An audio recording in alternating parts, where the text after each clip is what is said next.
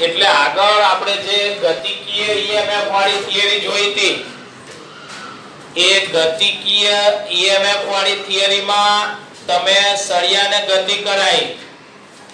અને સળિયામાં ઈએમએફ પ્રેરિત થાય છે. બરાબર? તો ઈએમએફ પ્રેરિત થયો એટલે વિદ્યુત ઊર્જા, એ શું મળ્યું? વિદ્યુત ઊર્જા મળી. અને તમે સળિયાને ગતિ કરાઈ. એટલે એના માટે એના ઉપર બળ લગાડ્યું હશે. અને સળિયાને તમે અચળ વેગથી ગતિ કરાવી. તો એ તમે યાંત્રિક ઊર્જા વાપરી કહેવાય. શું વાપર્યું કહેવાય? તમે કાર્ય કર્યું. તો એ કાર્ય એટલે યાંત્રિક ઉર્જાનો ખર્ચ કર્યો. સામે પ્રેરિત ઈએમએફ મળ્યું. એટલે આપણને શું મળ્યું? વિદ્યુત ઊર્જા. તો આ થિયરીમાં આપણે એ જોવાનું છે. કે કેટલી યાંત્રિક ઊર્જા વાપરી? સામે કેટલી વિદ્યુત ઊર્જા મળી? અને એ આપણે પાવર સ્વરૂપે લઈશું. એટલે આપણે બે પાવર શોધીશું. યાંત્રિક પાવર અને વિદ્યુત પાવર. એટલે એ ઊર્જા થઈ, પાવર એટલે એકમ સમયમાં કાર્ય કરવાનો સમય બરાબર? તો આપણે પાવર બે શોધીને જોઈ જોઈએ. કે કેટલો યાંત્રિક પાવર વાપરવો પડે, સામે કેટલો વિદ્યુત પાવર મળે છે. બરાબર? તો એના માટે યાદ કરો, ગતિકીય ઈએમએફ વાળી થિયરી કે આપણો I પ્રવાહધારિત L લંબાઈનો સળિયો, B તીવ્રતાના ચુંબકીય ક્ષેત્રમાં આપણે મૂકેલો હતો અને આપણે એને ગતિ કરાવતા હતા. તો ચુંબકીય ક્ષેત્ર એના ઉપર કેટલું બળ લગાડે? I પ્રવાહ ધારી. L લંબાઈના સળિયા પર B તીવ્રતાના ચુંબકીય ક્ષેત્ર વડે લાગતું બળ કેટલું હોય? એફ સદિશ બરાબર આઈ એમ સદિશ ક્રોસ પણ એન સદિશ અને બી સદિશ પરસ્પર લંબ છે એટલે મૂલ્ય કેટલું થાય? એફ બરાબર I L B sine pi by two. Sine pi by two is equal to one થાય. તો કેટલું બળ લાગે? અને આ બળ એની ગતિની વિરુદ્ધ દિશામાં લાગે. તમે જમણા હાથના સ્ક્રૂના નિયમ ઉપરથી ત્યારે આપણે સમજાયું કે આ બળ એના વેગની વિરુદ્ધ દિશામાં લાગે. માટે જો તમારે સળિયાને અચળ વેગથી ગતિ કરાવવી હોય, તો એના ઉપર જેટલું બળ લાગે છે એટલું જ બળ તમારે બહારથી લગાડવું પડે. તો સળિયો v જેટલા અચળ વેગથી ગતિ કરશે. ટૂંકમાં સળિયાને ગતિ કરાવવા માટે આપણે આટલું જ બળ લગાડવું પડશે. I L B જેટલું. બરાબર? જ્યાં I એ સળિયામાં પ્રેરિત થતો પ્રવાહ છે. સળિયામાં પ્રેરિત પ્રવાહ. સળિયામાં પ્રેરિત થતો પ્રવાહ I બરાબર એપ્સિલોન બાય R થાય. બરાબર? જ્યાં R એ સળિયાનો અવરોધ છે અને એપ્સિલોન એ સળિયામાં પ્રેરિત થતો EMF સળિયામાં પ્રેરિત થતો EMF BVL હતો. તો BVL upon R. તો આ કિંમત અહીંયા મૂકી દો તો તમારે કેટલું બળ લગાડવું પડશે? L અને B, એટલે B square L square V upon R સળિયાને તમારે v જેટલા અચળ વેગથી ગતિ કરાવવા માટે આટલું બહારથી બળ લગાડવું પડે. બરાબર? તો બળ લગાડ્યું એટલે તમે યાંત્રિક કાર્ય કર્યું છે. તો યાંત્રિક પાવર કેટલો ખર્ચાય? તો યાંત્રિક power P mechanical is equal to સૂત્ર કયું હતું? 11 માંથી F વી લઈએ. તો બળ F છે આપણી પાસે. મૂકી દઈએ. તો યાંત્રિક પાવર બરાબર બી સ્ક્વેર એલ સ્ક્વેર એક વી આવે છે પાછો. વી સ્ક્વેર અપોન આર તો સળિયાને v જેટલા અચળ વેગથી ગતિ કરાવવા માટે આટલો યાંત્રિક પાવર વાપરવો પડે. ત્યારે તમને આટલું ઈએમએફ મળે, આટલો પ્રવાહ મળે. સમજાયું? બરાબર? તો હવે આપણે એ જોઈએ કે યાંત્રિક પાવર તો વાપર્યો તો સામે વિદ્યુત પાવર કેટલો મળશે આપણને? એ ગણી જોઈએ, કેમ કે કેટલું ઈએમએફ મળે છે અને કેટલો પ્રવાહ મળે છે આપણી પાસે છે જ કિંમતો. તો વિદ્યુત પાવર કેટલો મળ્યો? વિદ્યુત ઊર્જા કેટલી મળી? એ જોઈ જોઈએ. તો એનાથી ઉદ્ભવતી વિદ્યુત ઊર્જા માટે આપણે વિદ્યુત પાવર લઈએ તો વિદ્યુત પાવર Pe લઈએ, ઇલેક્ટ્રિક માટે. બરાબર? વિદ્યુત. તો is equal to E I થાય, એપ્સાઇલોન આઈ બરાબર ને? પાવરનું સૂત્ર કયું લીધું હતું ત્રીજા ચેપ્ટરમાં P બરાબર Pi આ વિદ્યુત પાવર જ હોય ને, વોલ્ટેજ ગુણ્યા પ્રવાહ. તો અહીંયા પ્રેરિત EMF ગુણ્યા પ્રેરિત પ્રવાહ. બંનેની કિંમતો છે આપણી પાસે, મૂકી દઈએ, પ્રેરિત EMF BVL પ્રેરિત પ્રવાહ કેટલો મળ્યો છે? BVL અવરોધ R. તો વિદ્યુત પાવર કેટલો થઈ જાય? B2 v2 l2 બાય સમીકરણ નંબર 2 તો તમે આટલો યાંત્રિક પાવર વાપર્યો, સામે આટલો વિદ્યુત પાવર મળ્યો. અને એ બંને જુઓ, સૂત્રો ઉપરથી સમાન છે. બરાબર? તો આનો અર્થ એ થાય કે યાંત્રિક પાવર બરાબર વિદ્યુત પાવર અને આવું કેમ થયું? આ તો શું થયું કહેવાય? ખબર કે જેટલી યાંત્રિક ઊર્જા વાપરી ને 100 એ સો ટકા વિદ્યુત ઉર્જામાં કન્વર્ટ થઈ. જેટલી યાંત્રિક ઊર્જા વાપરી, એ બધી વિદ્યુત ઊર્જા તરીકે મળી ગઈ. સહેજ પણ લોસ ગયો નહીં. બરાબર? આપણી ઉર્જાનો વ્યય થતો એ એટલા માટે કેમ કે આપણે આદર્શ પરિસ્થિતિ લીધી છે. આપણે ત્યારે ધાર્યું હતું કે ભાઈ ઘર્ષણ રહિત સહયોગ કરે છે, એટલે ઘર્ષણ બળ. બીજા કોઈ અવરોધક બળો આપણે ગણ્યા નથી. માટે જેટલી યાંત્રિક ઊર્જા વાપરી એ બધી જ વિદ્યુત ઉર્જામાં ફરી ગઈ. બાકી વ્યવહારમાં ઘણા બધા અવરોધક બળો લાગશે. ઓહમિક લોસ જાય. પરિણામે જેટલો તમે યાંત્રિક પાવર ખર્ચો, એટલો વિદ્યુત પાવર સામે મળવાનો નથી. બરાબર? તો આ ઉર્જાની વિચારણા કરી કહેવાય, આ યાંત્રિક પાવર અને સામે મળતો વિદ્યુત પાવર. એના આપણે સૂત્રો મેળવ્યા. બરાબર? ત્યાર પછી એક વિશિષ્ટ સંબંધ મેળવેલો છે. વિદ્યુત ભાર અને ચુંબકીય ફ્લક્સ વચ્ચેનો સંબંધ. કેમ કે પ્રેરિત ઈએમએફ. જો ખાલી મૂલ્ય લઈએ તો કેટલું હોય? Delta phi upon delta P અને પ્રેરિત ઈએમએફ બરાબર. તમે શું લખી શકો? V બરાબર IR એના ઉપરથી અહીંયા IR લખાય. એપ્સિલોન ઇઝ ઇક્વલ ટુ બરાબર? એમાં I ના બદલે સરેરાશ પ્રવાહ, ડેલ્ટા Q બાય ડેલ્ટા, કેમ કે પ્રેરિત EMF એ સરેરાશ પ્રેરિત EMF છે. તો આ સરેરાશ પ્રવાહ લઈએ. તો delta Q upon delta T into R, તો બંને સરખાવો તો delta Q upon delta T into R is equal to delta phi b upon delta t. delta t cancel કરો તો જો વિદ્યુત ભાર ડેલ્ટા q બરાબર શું બાકી રહે? ડેલ્ટા phi b upon બરાબર?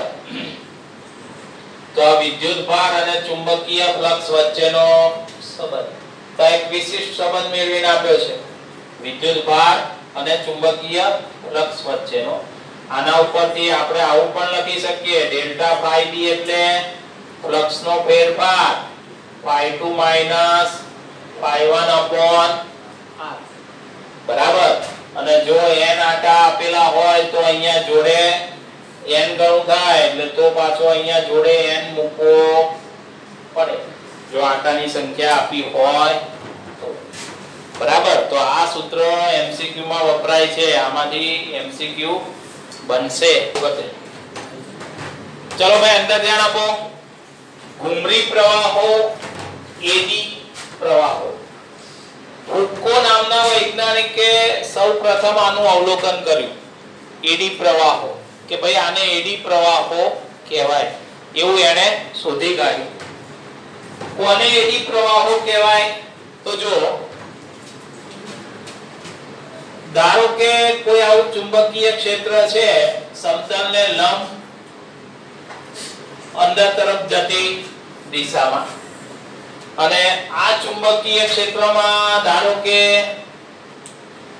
તમે કોઈ વાહક પદાર્થ એને ગતિ કરાવો, ધારો કે વાહક તકતી છે, એને આ ચુંબકીય ક્ષેત્રને લંબ રૂપે એટલે તકતી જો આમ જ ગતિ કરે છે, આ સમતલમાં. ચુંબકીય ક્ષેત્ર આમ છે, એને લંબ રૂપે છે. અને એને તમે ગતિ કરાવો. તો તો તકતીની અંદર મુક્ત ઇલેક્ટ્રોન હશે, ધન આયનો હશે, અને એ પણ એની સાથે સાથે ચુંબકીય ક્ષેત્રમાં ગતિ કરે છે. અને વિદ્યુત ભાર ચુંબકીય ક્ષેત્રમાં ગતિ કરે. એટલે F સદિશ બરાબર Q V સદિશ ક્રોસ B સદિશ જેટલું એના ઉપર બળ લાગે.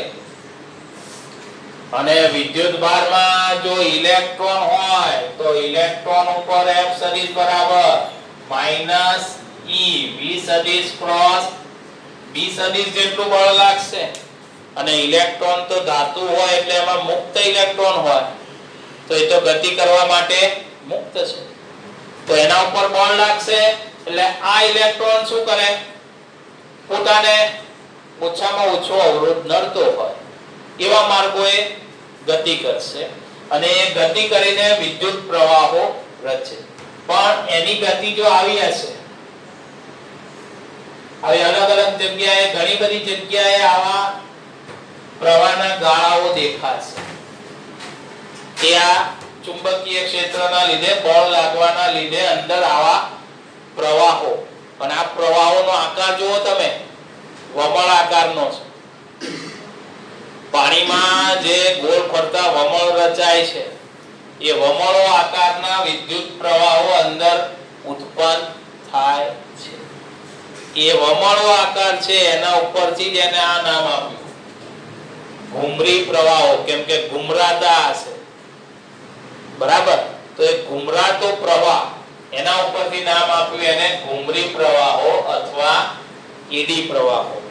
આ ફુકો નામના વૈજ્ઞાનિકે આનું સૌપ્રથમ અવલોકન કર્યું. બરાબર? તો આ એડી પ્રવાહો છે, ઘુમરી પ્રવાહો છે. અને આ એડી પ્રવાહો, ઘુમરી પ્રવાહો એ આમ તો વિદ્યુત ચુંબકીય પ્રેરણ ઉપરમાં, ઉપરથી જ આવે છે ને. ચુંબકીય ક્ષેત્રમાં ફેરફાર. સાથે સંકળાયેલ ચુંબકીય ફ્લક્સમાં ફેરફાર. પરિણામે પ્રવાહ પ્રેરિત થાય છે. અને એ પ્રેરિત પ્રવાહ હોય તો એ તો બધા લેન્સના નિયમને અનુસરે. તો પછી આ ઘુમરી પ્રવાહો પણ, એડી પ્રવાહો પણ લેન્સના નિયમને અનુસરશે. લેન્સનો નિયમ એટલે? લેન્સનો નિયમ એટલે પ્રેરિત પ્રવાહ કે પ્રેરિત ઈએમએફ એવી દિશામાં ઉત્પન્ન થાય, એવું ચુંબકીય ક્ષેત્ર ઉત્પન્ન કરે કે જે એને ઉત્પન્ન કરતા ચુંબકીય ફ્લક્સના ફેરફારનો વિરોધ કરે. બરાબર? અને એને ઉત્પન્ન કરવા વાળું કોણ? તો કે ગતિ. ગતિના લીધે ઉત્પન્ન થાય છે. તો પછી અહીંયા જે એડી પ્રવાહો જે ઉત્પન્ન થશે, એ શું કરશે? વાહકની ગતિનો વિરોધ કરશે. લેન્સના નિયમ પ્રમાણે. વાહકની ગતિનો વિરોધ કરે એટલે આ શું થાય? જો ચુંબકીય ક્ષેત્રમાં તકતીને તમે મુક્ત પતન કરાવી હોય, પદાર્થને, ધાતુને, તો તો ચુંબકીય ક્ષેત્ર ના હોય અને હવાનો અવરોધ અવગણો, તો આ પદાર્થ ગુરુત્વ પ્રવેગથી નીચે પડે. કેટલા પ્રવેગથી નીચે પડે? ગુરુત્વ પ્રવેગથી. પણ જો તમે ચુંબકીય ક્ષેત્ર આડું મૂકી દો લંબ રૂપે તો તો પછી આ જે તકતી છે કે પદાર્થ નીચે મુક્ત પતન કરશે, એનો પ્રવેગ ગુરુત્વ પ્રવેગ કરતા ઓછો હશે. કારણ કારણ આ એડી પ્રવાહો. એડી પ્રવાહો શું કરે છે? ગતિનો વિરોધ કરશે. પરિણામે એનો પ્રવેગ ઘટશે. એટલે પરિણામે હવે ગુરુત્વ પ્રવેગ જેટલા પ્રવેગથી નીચે પડશે પણ એનો પ્રવેગ કેવો હશે? ગુરુત્વ પ્રવેગ કરતા તો ગુરુત્વ પ્રવેગ કરતા ઓછા પ્રવેગથી હવે મુક્ત પતન થાય. જો ચુંબકીય ક્ષેત્ર હોય તો. બરાબર? તો પછી એક બીજો પ્રયોગ આપ્યો છે, એડી પ્રવાહોની અસર ચકાસવા માટેનો.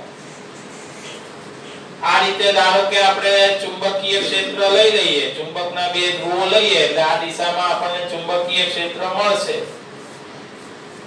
બરાબર? અને એ ચુંબકીય ક્ષેત્રમાં આપણે આવી એક ધાતુની પ્લેટ લઈએ, થોડીક જાડી. એને આ રીતે દોલનો કરાવીએ ચુંબકીય ક્ષેત્રમાં અંદર જાય છે. અને અહીંયા ચુંબકીય ક્ષેત્રમાંથી બહાર આવે છે. તો એની સાથે સંકળાયેલ ચુંબકીય ફ્લક્સમાં શું થાય? ફેરફાર. એટલે આમ દોલનો કરાયા છે. જો આપણે આ ચુંબકીય ક્ષેત્રની વચ્ચે. બરાબર? તો સંકળાયેલ ફ્લક્સમાં ફેરફાર થાય એટલે એમાં શું થાય? પ્રવાહ પ્રેરિત થાય. પણ અંદર આવતી વખતે જે દિશામાં આ એડી પ્રવાહો પ્રેરિત થાય, બહાર જતી વખતે એ પ્રવાહો વિરુદ્ધ દિશામાં હોય.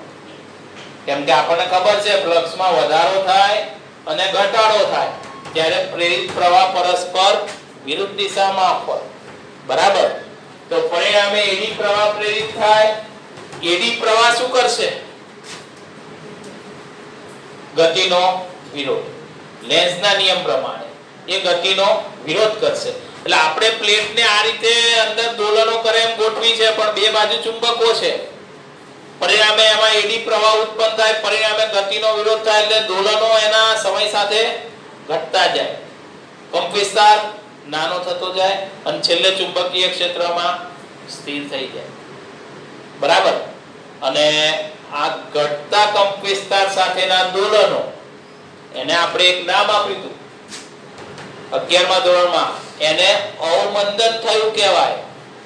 એને અવમંદિત દોલનો કહેવાય. એટલે આ તકતી હવે અવમંદિત દોલનો કરશે. એ અવમંદન કોના લીધે થયું? તો એક તો એડી પ્રવાહ અને બીજું ચુંબકીય ક્ષેત્રને લીધે. એટલે વિદ્યુત અને ચુંબકીય બંનેના લીધે અવમંદન થાય છે. એટલા માટે અંડરલાઈન કરો. આને ઇલેક્ટ્રોમેગ્નેટિક અવમંદન કહેવાય. અને ગુજરાતીમાં કહીએ તો આને વિદ્યુત ચુંબકીય અવમંદન કહેવાય. શું કહેવાય? વિદ્યુત ચુંબકીય અવમંદન. આ અવમંદનનો ગેલ્વેનોમીટરમાં ઉપયોગ કરવામાં આવશે. ગેલ્વેનોમીટરમાં આ અવમંદનના લીધે શું કરાય? કાંટો જે ગેલ્વેનોમીટરનો દર્શક છે એને સ્થિર કરવા માટે આ અવમંદનનો ઉપયોગ કરવાનો. કેમ કે એ ચુંબકીય ક્ષેત્રમાં ગતિ કરે છે. બરાબર? ચુંબકીય ક્ષેત્રમાં કોણાવર્તન આપશે. અને એ આપણે આગળ ભણી ગયા કે એના ઉપર ટોર્ક લાગે એટલે કોણાવર્તન બતાવે. પણ એને સ્થિર ના રહે, ત્યાં દોલનો કરશે. એના દોલનો બંધ કરાવવા માટે આ એડી પ્રવાહોનો ઉપયોગ કરીને શું કરવું પડે? ઇલેક્ટ્રોમેગ્નેટિક અવમંદનથી એને સ્થિર રાખવો પડે. તો આ એડી પ્રવાહોના લાભ કે એના ઉપયોગમાં છે? જો વિદ્યુત ચુંબકીય અવમંદન એના ઉપયોગમાં છે, એ ગેલોનોમીટરમાં એનો ઉપયોગ કરીને શું કરવાનું? દર્શકને સ્થિર રખાશે. બરાબર? આ તો એનો ઉપયોગ આપણે જોયો કે એડી પ્રવાહનો ઉપયોગ થયો, સારું થયું. પણ ઘણી જગ્યાએ એડી પ્રવાહ અનિચ્છનીય છે. કેમ કે એડી પ્રવાહ ઉત્પન્ન થાય એટલે એ કઈ એની જાતે ઉત્પન્ન ના થાય, એ ગમે તે ઉર્જાનો ભોગ લે. બીજી કોઈ ઉર્જામાંથી આ ઊર્જા મેળવી લેશે એટલે શું થાય કે આપણી ઉર્જાનો વ્યય થાય. ધારો કે ટ્રાન્સફોર્મર છે, તો આપણે છે સાતમા ચેપ્ટરમાં. ટ્રાન્સફોર્મરમાં શું થાય કે એમાં ચુંબકીય ક્ષેત્ર સતત બદલાતું રહેશે. ચુંબકીય ક્ષેત્ર એમાં જો બદલાતું રહે તો એમાં આ થાય. એના અંદર જે એનો લોખંડનો ગર્ભ છે, એમાં એડી પ્રવાહો ઉત્પન્ન થાય. પરિણામે શું થતું જાય? એ ગરમ થતું જાય. અને એ જે ઉષ્મા ઊર્જા આવી એ ક્યાંથી? તો એ વિદ્યુત ઉર્જાના ભોગે. એટલે ત્યાં પછી અનિચ્છનીય, કેમ કે એ તો બહુ વધારે ગરમ થાય તો બળી બી જાય. તો ઓગળી જાય ટૂંકમાં.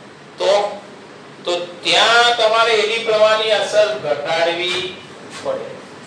અને એડી પ્રવાહની અસર ઘટાડવા માટે એક ઉપાય આ છે કે તમે આવી આખી પ્લેટ લીધી, એના બદલે આવા ઈ આકારની પ્લેટ લઈ લો.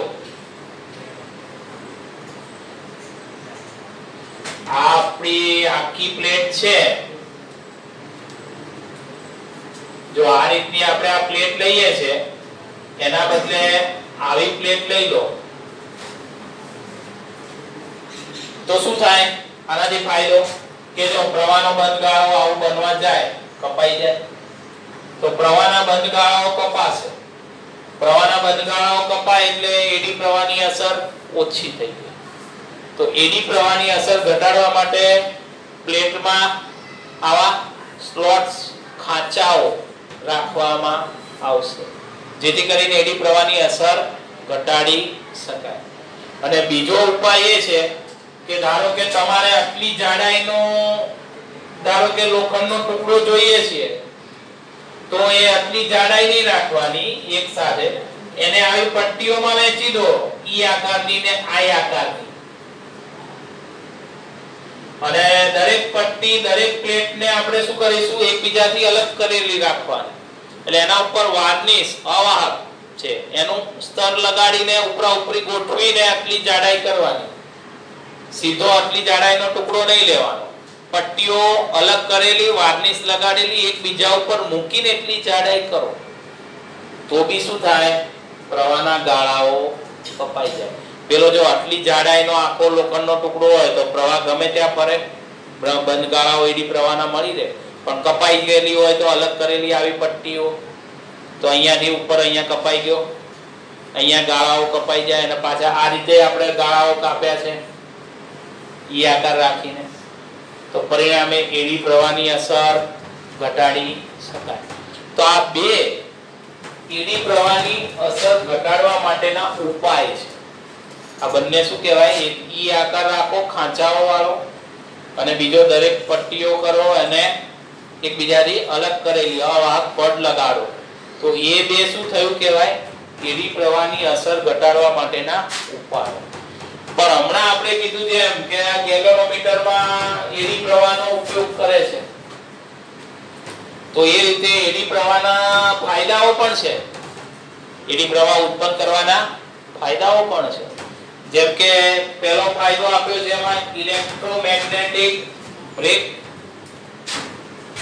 તો જે મેગ્નેટિક કે ઇલેક્ટ્રિક ટ્રેનો છે, સુપરફાસ્ટ ટ્રેનો, એમાં બ્રેક લગાડવા માટે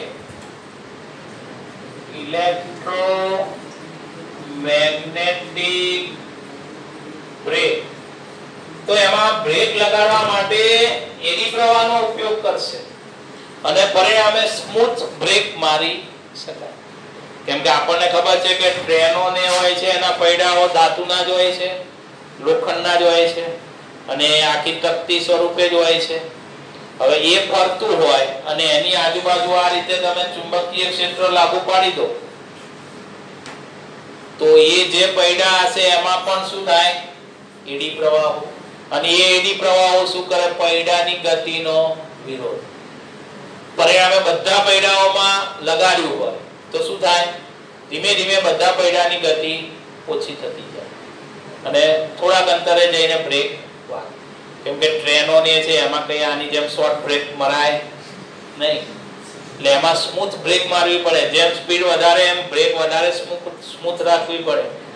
કેમ કે અઝડપીય નિર્દેશ પ્રેમ હોય. અંદર ઘણા બધા પદાર્થો બેઠા હોય. એ બધા ઉપર આભાસી બળ લાગે પાછળની દિશામાં.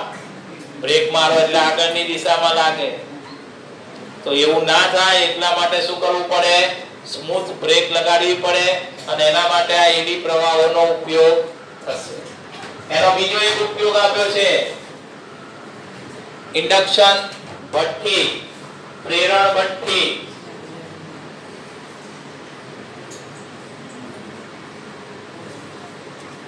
તો એ પ્રેરણ ભઠ્ઠીમાં બી એનો ઉપયોગ થશે. એટલે એની મદદથી શું કરવાનું કે આપણને ખબર છે કે અંદર એડી પ્રવાહ ઉત્પન્ન થાય એટલે ધાતુ ગરમ થશે. I સ્ક્વેર RT પ્રમાણે ઉષ્મા ઊર્જા. પણ જો બહારથી જે ચુંબકીય ક્ષેત્ર તમે બદલો છો, એની ફ્રીક્વન્સી બહુ ઊંચી રાખી હોય તો?